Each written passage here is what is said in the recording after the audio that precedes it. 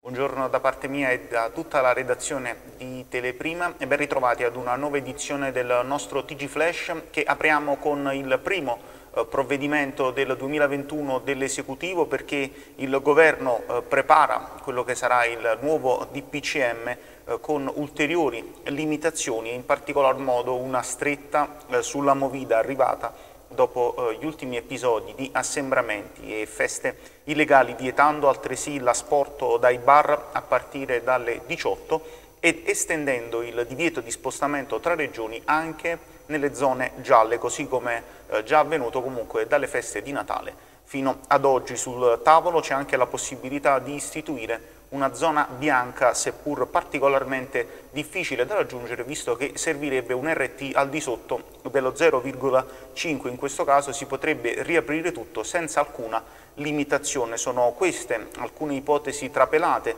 eh, da una riunione che ha avuto il Premier Giuseppe Conte con i capi delegazione che sono state poi presentate alle eh, regioni a margine dell'incontro voluto dal Ministro eh, per gli affari regionali Francesco Boccia.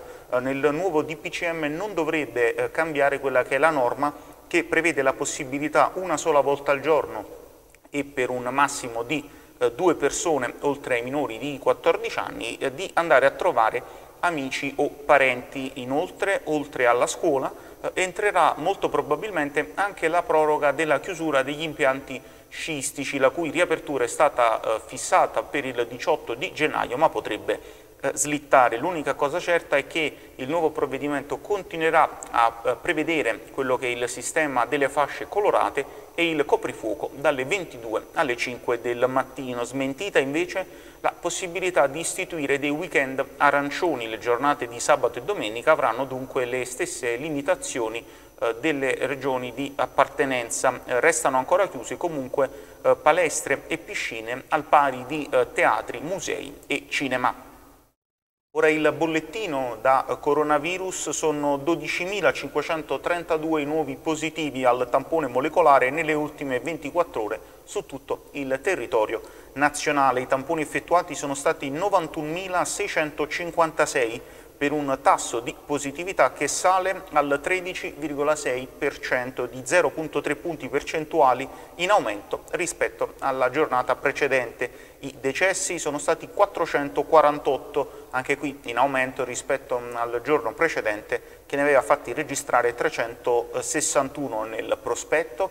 Eh, si segnalano anche 16.035 guariti che portano ad un decremento di quasi 4.000 unità degli attualmente positivi su base nazionale. Attualmente eh, sono 575.979 i positivi al Covid sul territorio nazionale, invece sono 1.021 i nuovi positivi in regione Campania, secondo quanto diramato dall'unità di crisi. I tamponi processati sono stati 9.690 per una percentuale di incidenza al test del 10,53%, in netto aumento rispetto alla giornata precedente quando ha toccato l'8,1% un incremento di ben due punti e mezzo che potrebbe indurre più di qualche preoccupazione. I guariti sono stati 1655 con 37 deceduti, di cui 12 nelle ultime 48 ore e 25 eh, nelle giornate precedenti, ma contabilizzati soltanto nella giornata di ieri.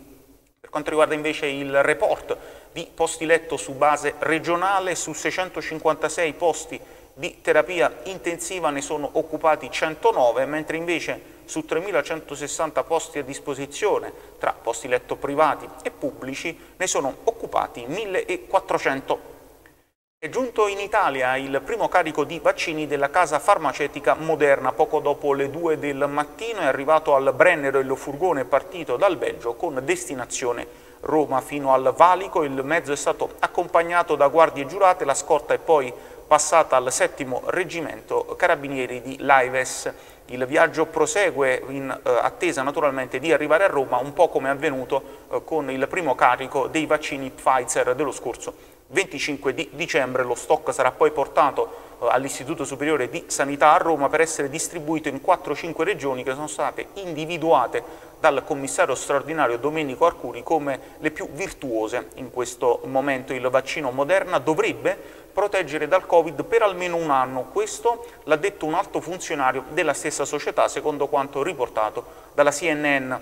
La nostra aspettativa è questa, è che duri un anno, ha detto Tal Zaks, direttore medico di Moderna, alla 39esima conferenza annuale di JP Morgan sulla sanità. La società, ha proseguito, dovrà verificare se è possibile estendere la protezione aggiungendo una terza dose. Eh, in Campania invece i vaccini sono terminati ma è già pronta la spedizione per la nuova fornitura di vaccini Pfizer con un totale di 34.000 dosi che arriveranno in regione entro la giornata di domani. Una volta arrivati a Capodichino, l'unità di crisi farà partire le varie spedizioni negli hub di vaccinazione per poter proseguire la vaccinazione. Al momento infatti la campagna è ferma perché sono state somministrate 68.138 dosi di vaccino, il 101,7% delle 67.020 ricevute, una percentuale che è stata ottenuta grazie alla suddivisione in più dosi operata comunque dai vaccinatori, indicazioni comunque che sono state eh, date eh, dall'AIFA. La ripresa delle vaccinazioni è fissata per mercoledì alla mostra d'oltremare a Fuorigrotta.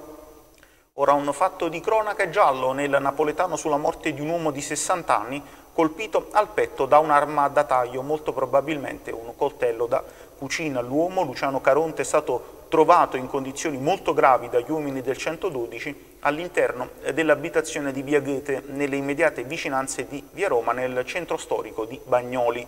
I carabinieri sono stati allertati da una telefonata anonima e hanno trovato l'uomo riverso sul pavimento all'interno dell'abitazione deceduto durante eh, le operazioni di rianimazione da parte del personale sanitario. Sono subito partite le indagini condotte dai carabinieri della compagnia di Pozzuoli. Sul posto era presente anche il magistrato di turno della eh, Procura di Napoli per disporre la rimozione della salma. Al momento sono due le ipotesi al vaglio degli inquirenti, un suicidio oppure un omicidio per il quale il principale indiziato è il figlio trentenne della compagna della vittima il giovane, secondo quanto si apprende da fonti investigative, sarebbe affetto da problemi di natura psichica. Eh, la vittima viveva nell'appartamento di via Goethe con la compagna, che era un'insegnante vedova, con i due figli della donna. Le indagini hanno portato sulle tracce il giovane che in queste ore dovrebbe essere ascoltato dai carabinieri. Si cercano inoltre anche dei testimoni oculari che possano aiutare gli agenti nella ricostruzione di tutti i tasselli del mosaico. A Caserta sono 106 i nuovi positivi al Covid secondo l'ultimo bollettino diramato dall'ASL locale. I tamponi effettuati sono stati 965 per un tasso di positività del 10,98%, in leggero aumento rispetto agli ultimi giorni. Eh, nel bollettino si certificano anche 172 guariti e 7 deceduti che portano il totale in terra di lavoro da inizio pandemia a 514 persone scomparse il, i comuni con il maggior numero di attualmente positivi restano Caserta e Maddaloni con 212 casi a testa, poi c'è Marcianise con 184 e Mondragone con 175. L'ASL di Caserta intanto ha anche dedicato un piccolo spazio al proprio sito web relativo al conteggio di coloro che hanno ricevuto il vaccino Covid, secondo l'ultimo aggiornamento con riferimento a ieri sono state vaccinate 11.421 persone.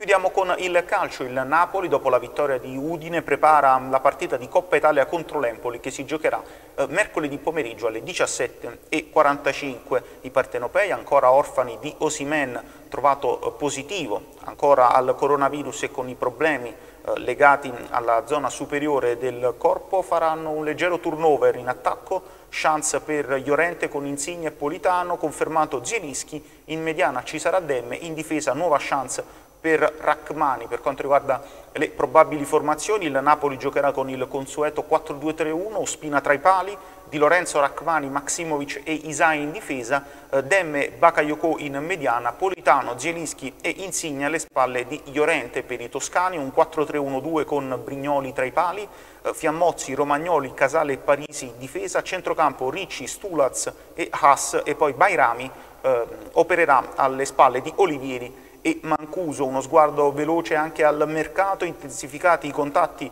con il Torino per Meite che potrebbe arrivare con uno scambio con Lobotka ai margini del progetto al pari di Malqui che è pronto a firmare con il Parma. In entrata è stata sondata la pista Kiran Tierney, il terzino ex Celtic comunque, fanno sapere da Londra, non è in vendita. Un'alternativa è Emerson Palmieri, ma la pista in prestito secco al momento non è praticabile.